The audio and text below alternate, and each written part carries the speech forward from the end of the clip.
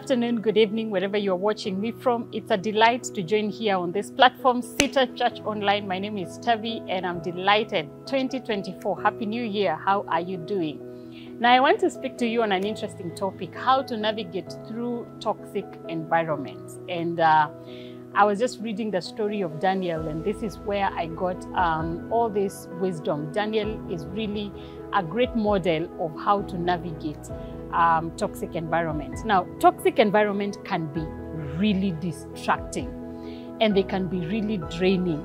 You can, when you live in a toxic environment, you feel you are always and constantly in fear, looking over your shoulder, not knowing who is for you and who is not for you.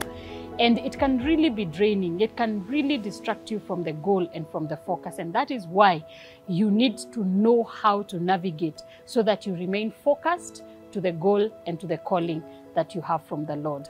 And so when I read from Daniel, one of the things that I see from the book of Daniel, Daniel lived in a very toxic environment in Babylon. There were always people who were watching, you know, to sabotage him, to plot against him. There is always a battle that is waging uh, somewhere around the corner for, for Daniel. How did he navigate in that uh, environment? From the time we are introduced to this man called Daniel, we see that he is a prayerful man. And so I just want to talk to you about prayer as a strategy to navigate through toxic environment. And as you pray, I want to give you three things that you should pray. And I see this in the life of Daniel. You should pray for when you notice that you're in a toxic environment. Number one, you should pray for discernment you should pray for discernment. Discernment is the ability to discern or to understand God's will in particular instance or circumstance or situation. Because if you don't understand God's will, you might act or respond based off the circumstances that you're in. And it is important that you pray for discernment. Discernment keeps you alert. It keeps you sober minded. When God grants you discernment, this will be one of your strategy to navigate through toxic environment. And you can ask God to grant you discernment. Number two, pray for wisdom and tact. Daniel navigated the environment of Babylon through wisdom.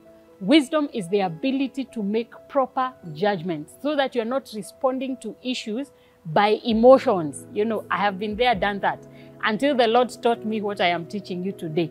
That you don't have to respond to, uh, to your emotions or the feelings of what people are doing or saying about you. You need to know what to respond to and what to leave alone, what battles to uh, engage in and what to let go of, what to confront and what to ignore. That can come from wisdom. And when you, de- uh, when you have wisdom from God, you will have better judgments to determine what you need to do in one particular time from another. Thirdly, what you need to pray for is protection. Ask God for protection. The goal of the enemy is not just to distract you, it's not just to make you lose focus, it's not just to fill you with fear, it's not just to drain you. The goal of the enemy is listed there in John chapter 10 and verse 10. He comes to kill, steal, and to destroy. What the enemy wants to do to you. It is to ultimately destroy the plan of God in your life or bring you to a place of destruction so that you will not be able to accomplish what God called you to do. And so, what you do is prayer invites the protection of God. The psalmist said, The one who dwells in the shelter of the Most High God will remain in the shelter of His, of the Most High God, in that protection. You need to ask God to redirect the arrows that are fashioned against you. The people will want to throw you into the fire, just like they did uh, the da Daniel and his colleagues. They want to throw you in the pits of, of lions so that you are destroyed. And you will need to invite the protection of God through prayer so that He can shut the, uh, the mouths of lions, so that He can stay the heat of the fire, and so that He can protect you ultimately. Ephesians chapter 6 and verse 13 says, Pray so that you will be able to stand your ground in the day of evil. Listen to me.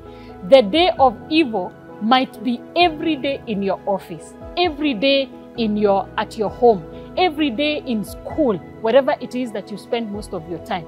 But when you are prayed up, you will have the ability to navigate through this toxic environment so that you remain focused to what God is doing and what is calling you to do. So pray for discernment, pray for wisdom, and pray for protection.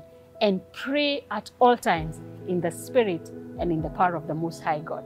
God bless you, and I pray that you win in whatever battle you're facing. God bless you.